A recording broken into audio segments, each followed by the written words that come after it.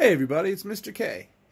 This week we're going to have some videos that you're going to watch. They're going to be under this post They have some different instruments than we're probably used to seeing. So what I want you to do is just check them out and then uh, in the comments I want you to pick one of these strange instruments and Tell me if it's something that you've seen before or if it's absolutely new to you. And then let me know whether or not it's something that you want to see more of. Because let me tell you, Mr. K knows how to find the music.